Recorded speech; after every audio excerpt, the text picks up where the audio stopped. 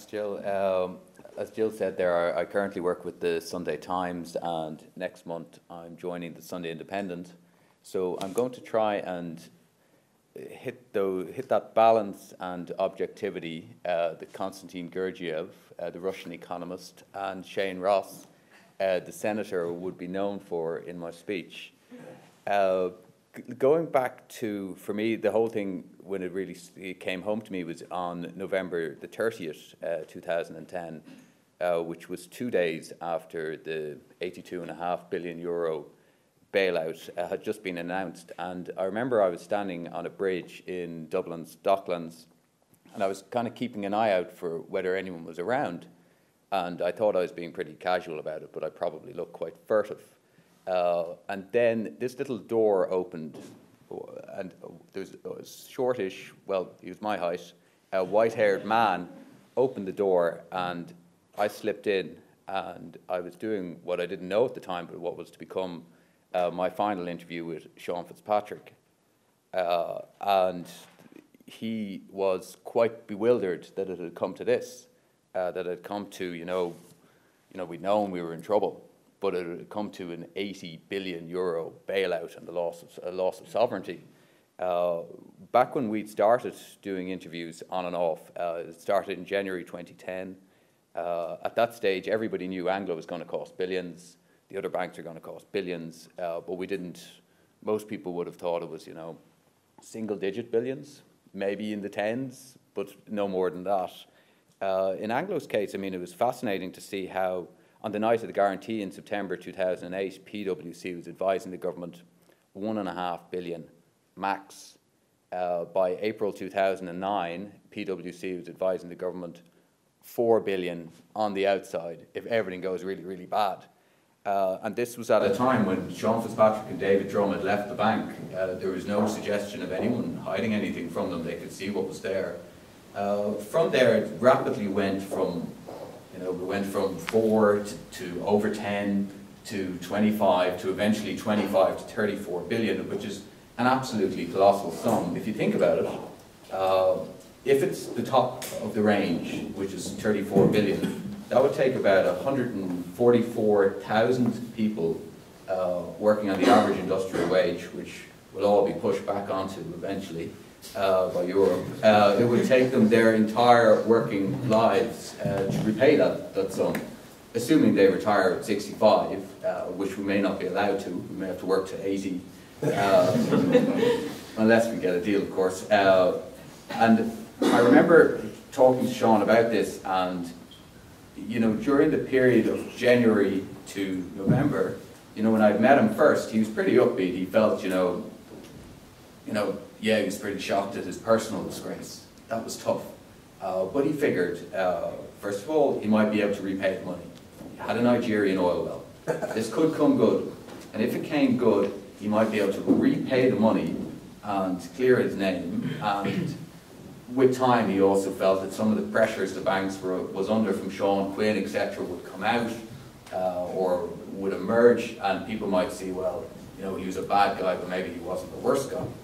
Um, but like Ireland, he was on being he was on a, a, railroad and he was heading towards something which he remained uh, far too optimistic about and didn't recognize the reality of until it was too late. Uh, by that summer, July 2010, uh, you know, he, he went to the High Court and filed for bankruptcy.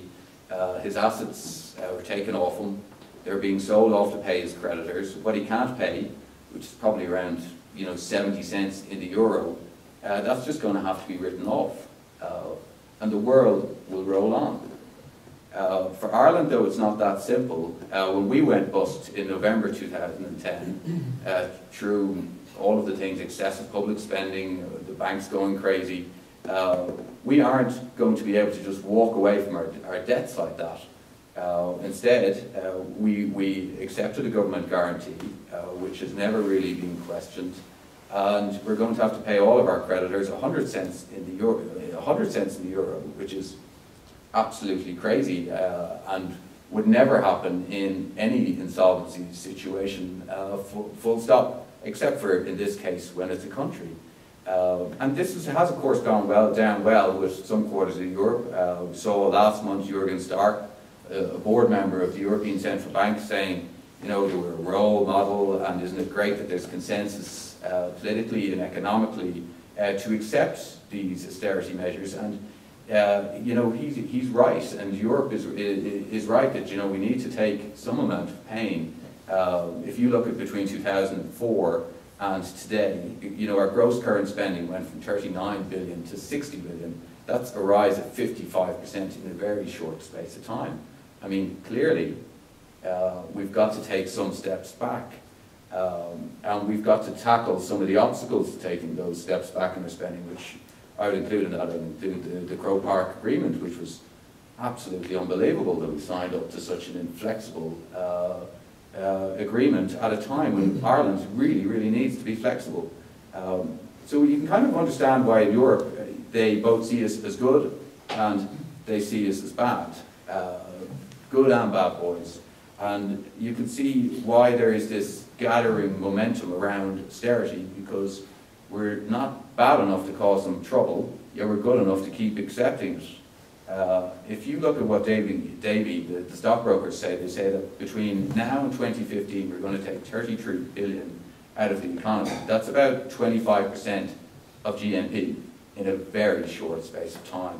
Uh, that's the sort of contraction you don't see in Europe or America. You might see it in um, a very poor country in Africa or a rogue Latin American state. We're going to see it here in this country.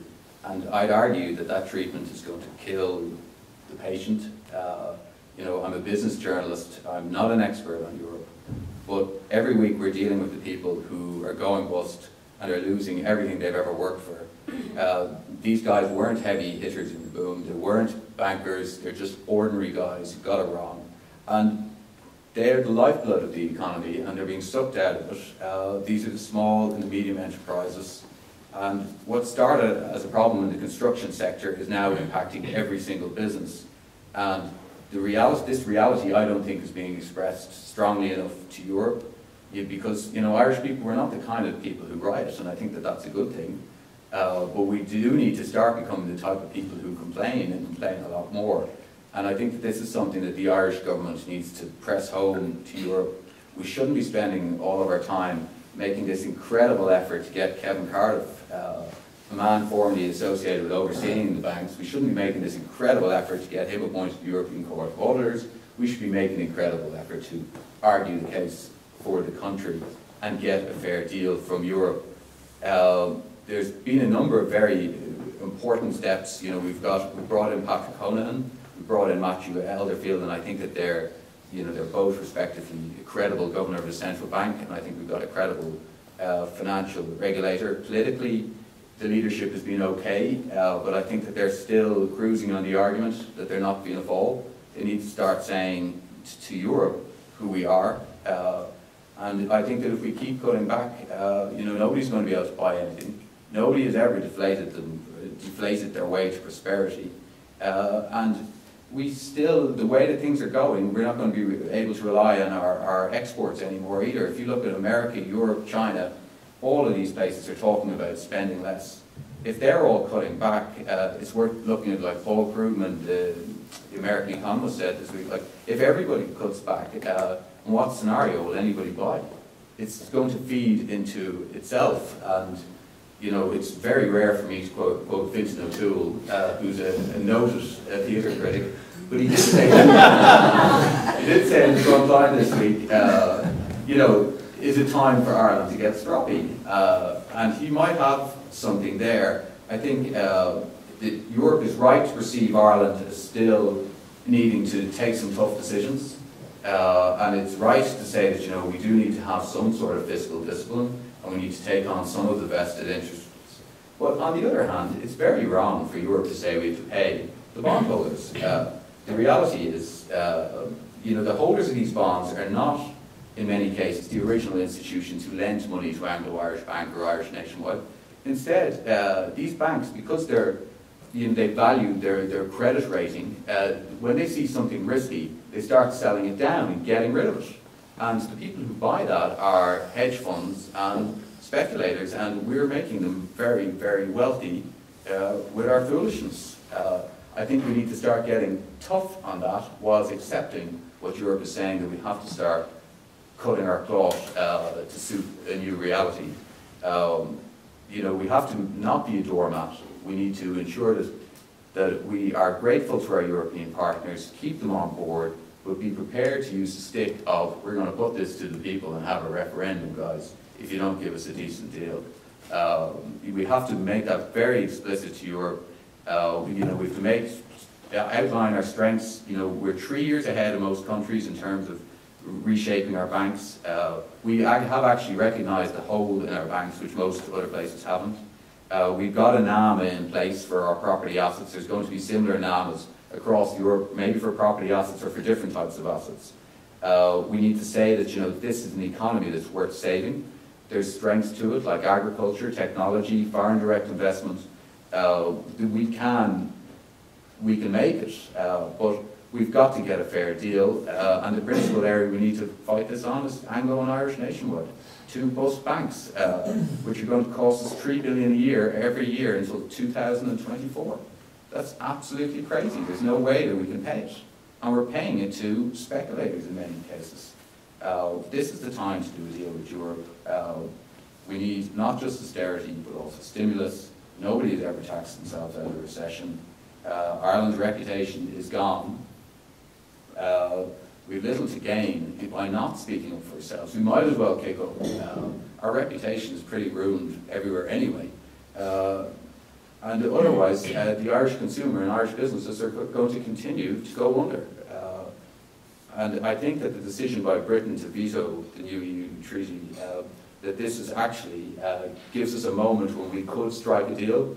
The last thing Europe is going to want to see is if, if England is shaky, if Ireland starts looking shaky, uh, they're not going to want that. And if we start talking about a referendum and bringing back Declan Ganley and all that sort of stuff, uh, we're going down a very dangerous uh, uh road. Uh, no disrespect to Constantin Gurdgiev. Uh, like I think that, that this is the time when we need to. The next couple of months are going to be critical. We need to strike a deal with them. if you to bring it back finally to, to Sean Fitzpatrick, where I started this speech. Um, when he went bankrupt uh, under the old bankruptcy laws, uh, he would get out of his bankruptcy in 12 to 14 years. Uh, the bankruptcy laws are going to be reformed in the next coming months, and he's going to, along with every other bankrupt, and there will be hundreds of others, uh, he's going to come out in three years. Uh, Ireland needs the rules to change, otherwise we're going to be stuck in some sort of downward cycle for 12 to 14 years.